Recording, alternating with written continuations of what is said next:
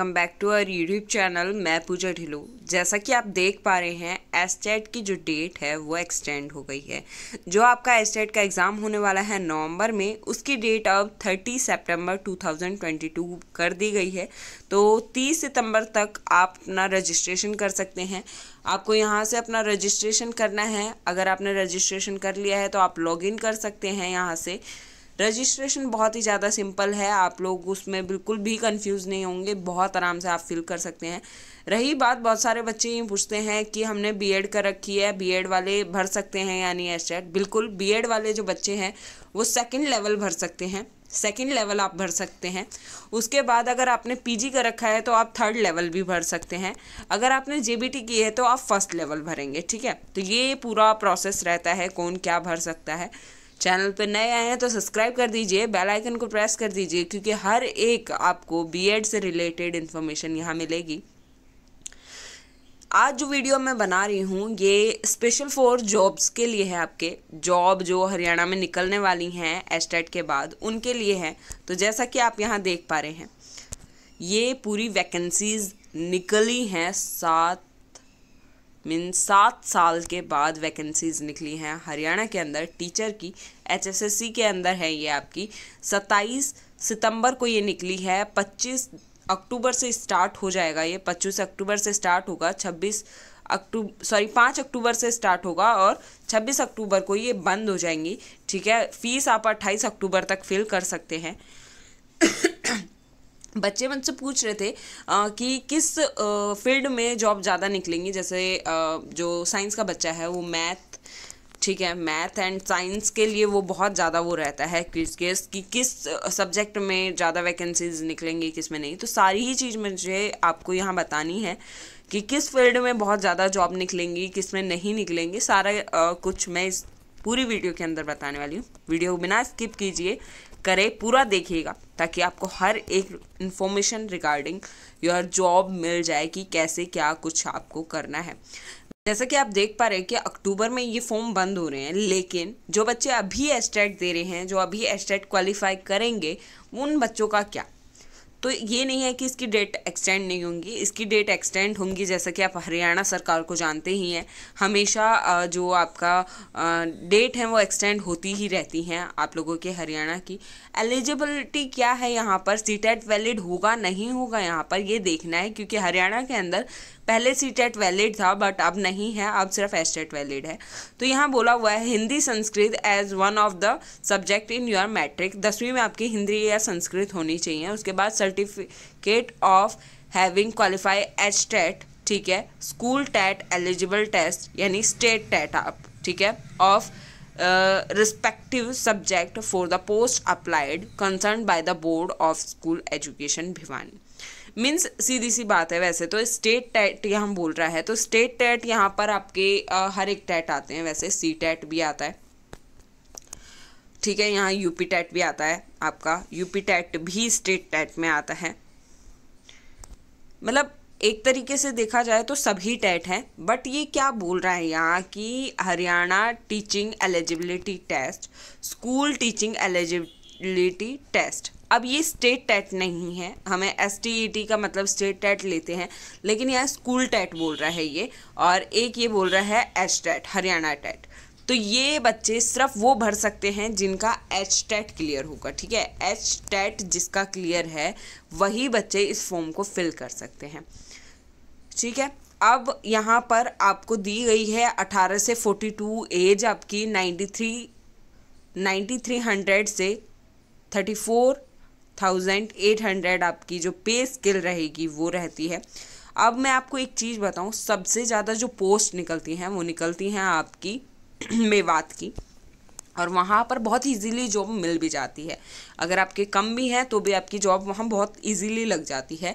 तो इंग्लिश की जो टोटल जॉब हैं, वो हैं सत्रह इक्यावन, यानी एक हज़ार सात सौ इक्यावन सीट हैं किसकी? इंग्लिश की। उसके बाद आपकी दूसरे मतलब यहाँ पर मैं बोलूँ तो दूसरे नंबर पे आपकी आर्ट की हैं, टीजीटी। आर्ट की जॉब सबसे ज़्यादा हैं, चौदह फोर्टी थ्री, यानी one thousand four hundred forty three. उसके बाद आपकी जो जॉब है, वो है साइंस की। एक हज़ार दो सौ सत्तानवे जॉब साइंस की हैं। संस्कृत की सात सौ बारह, उर्दू की आपकी इक्कीस हैं और फ़िज़िकल एजुकेशन की आपकी आठ सौ इक्कीस हैं। म्यूज़िक की आपकी दस हैं और होम साइंस की आपकी यहाँ पे सेवेंटी थ्री हैं। मेवात के अंदर मैथ की कोई भी वैकेंसी यहाँ पर आपको नहीं दिख रही है। अगर आप ई डब्ल्यू एस से हैं तो आप यहाँ अपनी कैटेगरी वाइज भी देख सकते हैं। साइंस वालों की एक सौ तीस वैकेंसी हैं ई डब्ल्यू एस वालों की तो ये आपका यहाँ पर सारी चीज़ बताई हुई हैं। उसके बाद जो सत्रह सौ इक्यावन पोस्ट हैं इंग्लिश की टीजीटी उसके लिए एलिजिबिलिटी क्या मांगी है इन्होंने? आप यहाँ पर पचास परसेंट के साथ अपनी ग्रेजुएशन कर रखी होगी आपने तो और कंपलसरी होना चाहिए इंग्लिश सब्जेक्ट उसके बाद आपने BTC JBT DEd diploma in education diploma in elementary education, ये आपने की होनी चाहिए, ठीक है? या फिर उसके बाद पचास परसेंट के साथ आपकी ग्रेजुएशन और आपकी बीएड बीएड स्पेशल ये आपकी होनी चाहिए तो आप एलिजिबल हैं।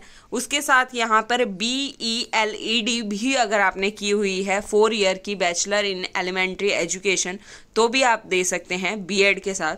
फिर आपने बीए बीएड फिफ्टी परसेंट के साथ की है तो भी आपकी फॉर्म भर सकते हैं। एचटेट आपका क्वालिफाई होना चाहिए। इंग्लिश सब्जेक्ट के अंदर हिंदी संस्कृत आपका एक सब्जेक्ट होना चाहिए दसवीं के अंदर। तो ये आपकी क्वालिफिकेशंस मांगी गई हैं।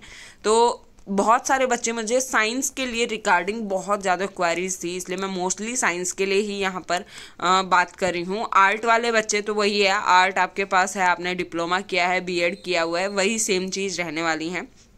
बट आपका यहाँ पर आ, आर्ट वालों के लिए सब्जेक्ट जो स्कूल टीचिंग टेस्ट है वो भी वैलिड रहेगा। बात करेंगे हम साइंस की यहाँ पर कि साइंस वाले बच्चों को क्या करना है। बीएससी होनी चाहिए, दो ईयर का डिप्लोमा जो आपका जेबीटी वगैरह जो भी है बीएड वगैरह, वो आपकी होनी चाहिए।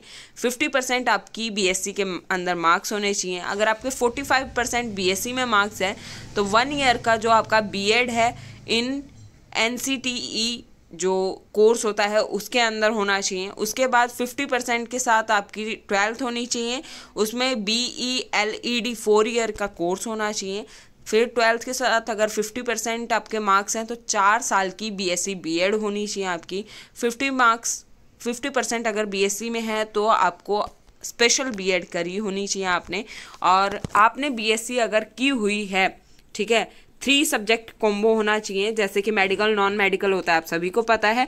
तो इसके अंदर आपको जैसा कि दिख रहा है, अगर मैं मेरी बात करूँ तो मेरा सब्जेक्ट आपका जो मैं बता रही हूँ, वो था zoology botany and chemistry they are three subject I taken in B S C तो तीन सब्जेक्ट थे मेरे पास। नॉन मेडिकल के जो स्टूडेंट होते हैं, उनके पास होता है फिजिक्स केमिस्ट्री एंड मैथ तो हाँ नॉन मेडिकल या मेडिकल कोई भी स्ट्रीम से अगर आपने बीएससी करी है तो आप ये फॉर्म फिल कर सकते हैं।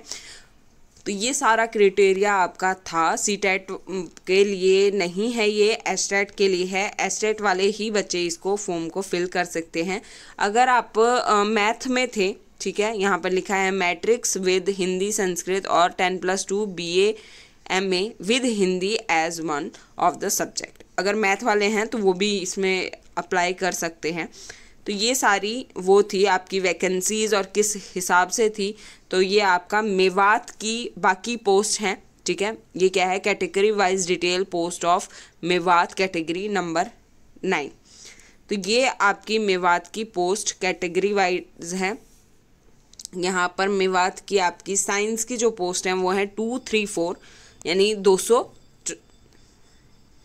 चौंतीस। और मैथ की यहाँ पर नाइन्टी थ्री पोस्ट हैं तो ऑब्वियसली बात है साइंस की पोस्ट ज़्यादा हैं आपको यहाँ पर। और सबसे ज़्यादा हैं यहाँ पर आर्ट की, ठीक है? आर्ट की पोस्ट सबसे ज़्यादा हैं, उसके बाद आपकी सोशल साइंस की एटी थ्री पोस्ट हैं। तो ये आपकी पोस्ट यहाँ पर रहने वाली हैं। इसके अंदर भी क्राइटेरिया आपको दिया गया है एम डब्ल्यू टी के अंदर। क्या रहने वाला है? साइंस का एसएस का आर्ट का, सभी चीज़ों का। तो आप ये पीडीएफ मैं आपको व्हाट्सएप ग्रुप पे शेयर कर दूँगी या टेलीग्राम ग्रुप पे भी शेयर कर दूँगी। आप वहाँ से देख सकते हैं। आई होप आपको समझ में आ गया होगा कि किसी भी टेट कोई भी टैट नहीं मान्य है, सिर्फ़ एस टेट मान्य है। एस टेट आपने करा हुआ है तो ही आपका वैलिड रहेगा और इन फ्यूचर ये फॉर्म बढ़ेगा। ऐसा नहीं है कि आप अभी भर देंगे इस फॉर्म को, अभी आप नहीं भर सकते क्योंकि आप एलिजिबल नहीं हैं, आपका टेट क्लियर नहीं है। So all the very best for your future and job do like share and subscribe my channel have a great day take care